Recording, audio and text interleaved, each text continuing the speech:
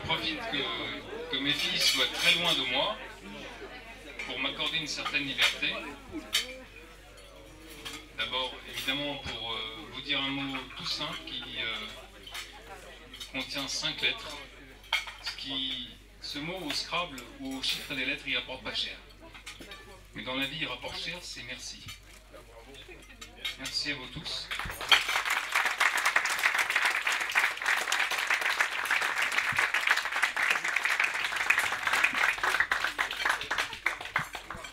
Saint Jean de la Croix disait Qui rend grâce attire la grâce. Donc merci.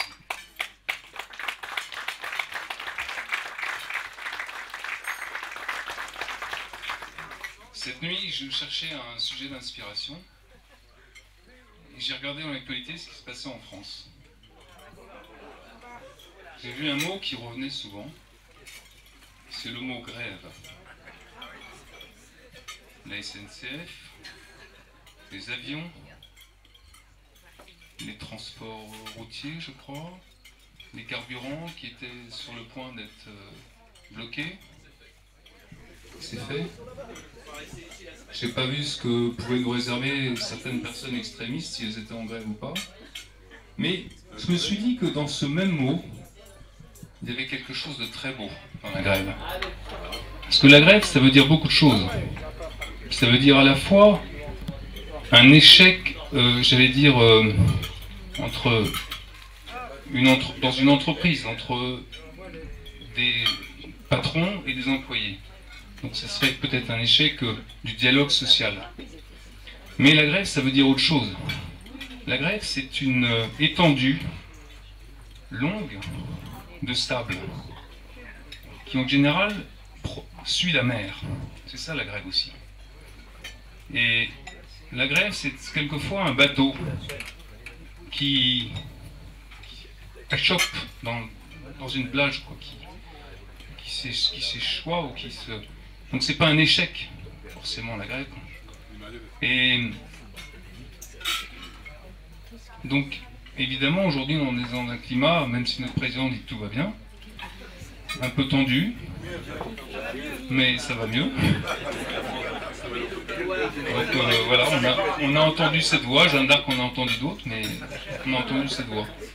Mais on est dans un pays merveilleux, il y a des gens, des, hommes politiques, des forces vives, des entrepreneurs qui sont pleins d'énergie, qui vont redresser ce pays, parce qu'on en a vu d'autres, on va pas se laisser impressionner par ces babioles. Donc il faut être confiant dans l'avenir, il faut se mobiliser, et moi je suis très touché de ce qui s'est passé ce soir ici. Pourquoi? Parce que on fait tous un métier individualiste. Ça veut dire qu'on essaie de gagner pour soi, pour nos couleurs, pour notre clientèle. Donc on est obligé d'essayer de passer avant les autres. Cette obligation de résultat, on, l'a avec nous dans notre métier. Mais ce soir, ce qui me touche beaucoup, c'est cette communion. On est tous, on a envie de gagner, mais on a tous passé. C'est prétentieux de dire ça, mais je pense qu'on a passé une bonne soirée ensemble. Et euh, donc c'est cet esprit de, rassemblement, de gens qui, voilà, qui, dans leur métier, sont concurrents. Et, euh, ce soir, ce que je trouve très beau, c'est on a beau être concurrents dans nos métiers, eh ben, on a passé une bonne soirée, on a communié autour d'un bon dîner, je pense, qui a été euh, piloté par M. Euh, Monsieur Lenoir et qui c'est plus qu'un c'est un symbole. C'est le propriétaire de la Renaissance, Monsieur Lenoir. Au lieu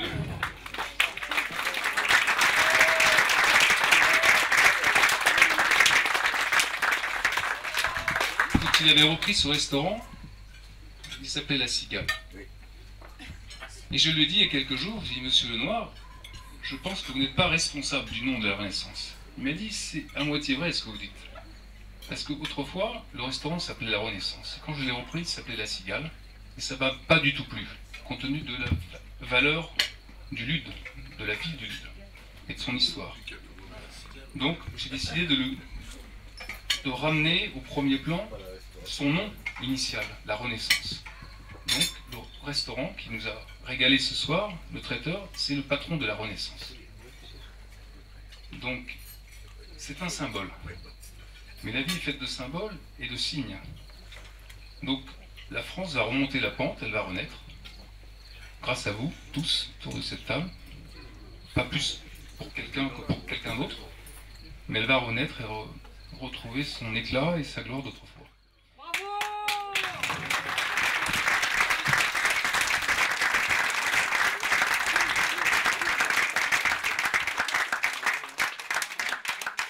Là, je m'adresse aux hommes politiques.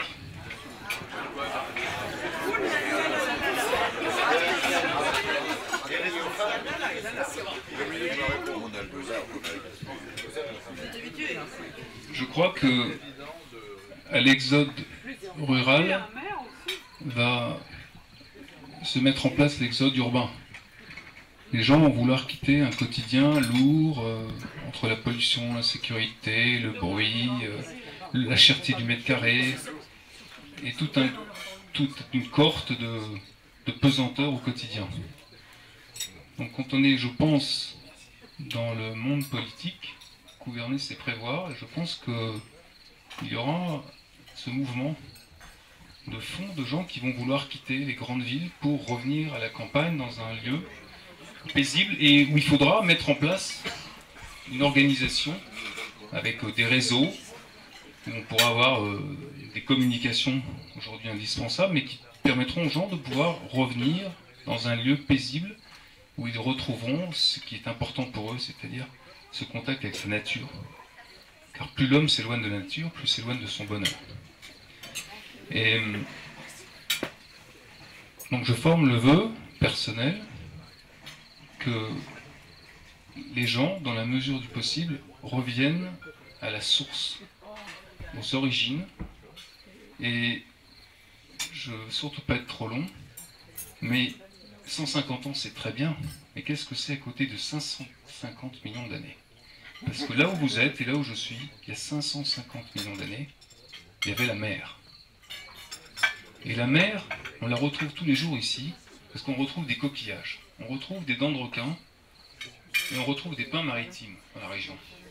C'était il y a 550 millions d'années.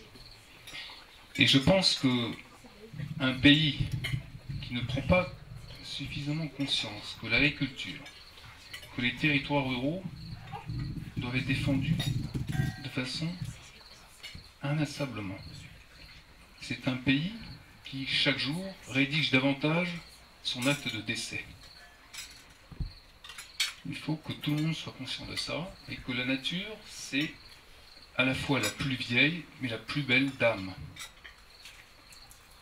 Que l'homme la régulièrement quand il n'en prend pas soin. Mais que cette dame, elle ne supportera pas les derniers outrages. Il faut donc prendre soin de cette belle dame. Ça, c'est le rôle, la mission de chacun d'entre nous, mais aussi des politiques.